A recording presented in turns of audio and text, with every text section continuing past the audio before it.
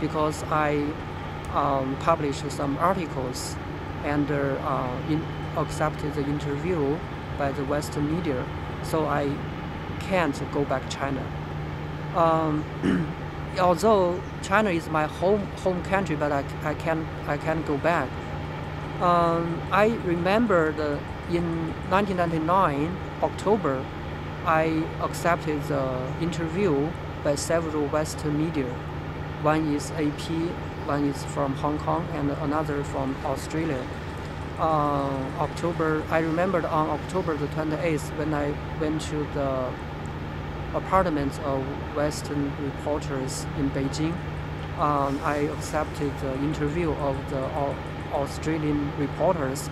After, immediately after we went out of the, the yard of the apartments, we were um, we I, I with another practitioners were arrested were kidnapped immediately by the secret agent. They um, they ran out of a, a black car um, parking beside the roads and they uh, used the, the big motor uh, motorcycle blocked my block our ways and they um, stretched us into the car and sent us to the secret um, detention center to interrogate a whole night because um, every uh, Western reporters in Beijing were monitored by the, the, by the CCP. They took they take the Western reporters as spies in in China. They saw the you know. Um, it's a famous case then.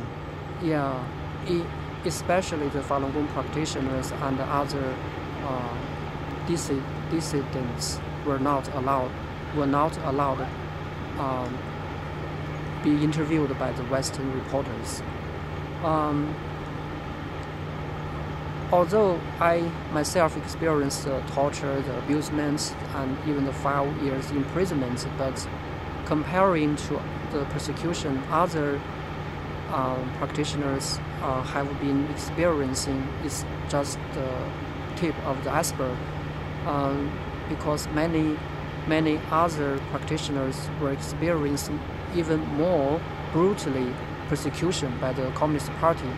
Um, till now, there's uh, over um, there's over 3,308 uh, documented uh, case of, uh, I mean, the persecution to death case were reported by the clearwisdom.net.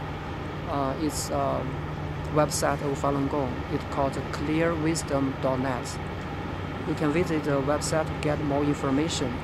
And uh, even uh, unbelievable thing is um, it's reported that the CCP uh, even um, harvest the organs from the living body of the Falun Gong practitioners to make money.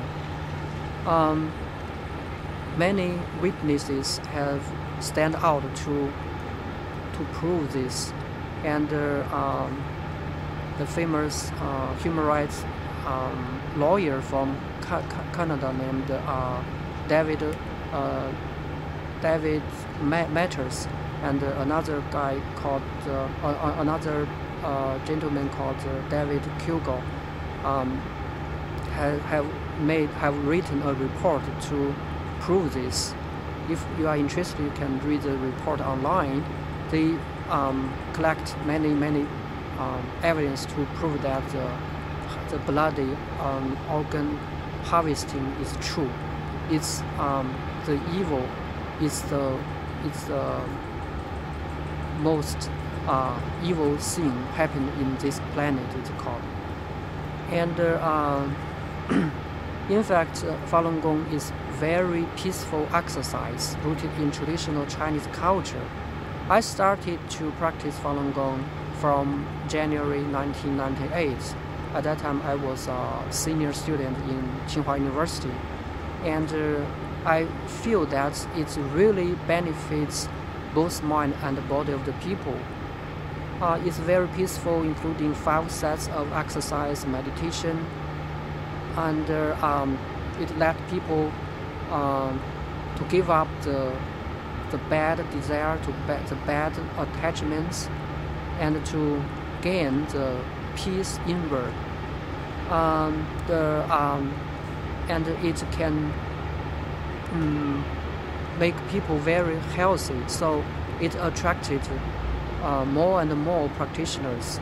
Uh, from 1992, the Falun Gong is uh, was introduced to public, and uh, to 1999, shortly seven years, it attracted, um, according to the official statistics, about 70 to 100 mil, uh, 70 to 100 million Chinese people started to uh, practice Falun Gong. I think this is the most important reason why CCP started the, started the persecution because the member of the Falun Gong practitioners increases so fast um, due to the jealousy, especially the, the former dictator. I mean the, the leader of CCP, the Communist Party, named Jiang Zemin. He is very jealous of Falun Gong and Falun Gong's founder, uh, uh, Mr. Li Hongzhi.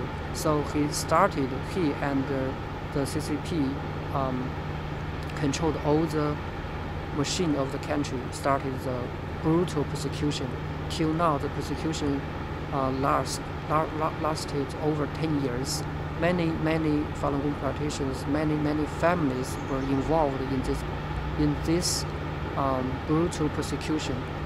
Even um, over 3,000 practition, practitioners were persecuted to death, and and uh, many many practitioners were even harvest or even harvest the organs when they when they were still alive.